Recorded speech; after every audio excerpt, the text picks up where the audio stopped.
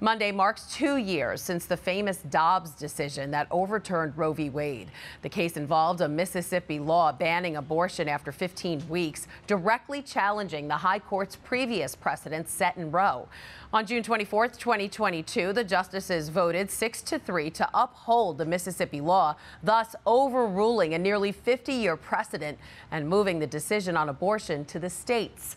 U.S. bishops marked this historic day, saying in a statement, It is a day for thanksgiving to God for answering our prayers and blessing the many years of hard work. This anniversary calls us to reflect on where we have been and where we are going. Each of us must rededicate ourselves to serving the cause of life.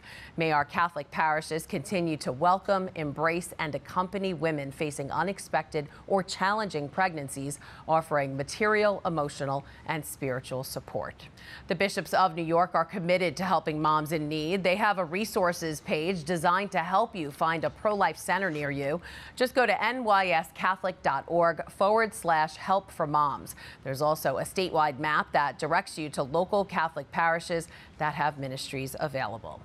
Hi, I'm Christine Persichetti, anchor of Currents News. If you like what you saw, please hit the like button on this video. And if you want to see more content just like it, subscribe and click on the bell for notifications.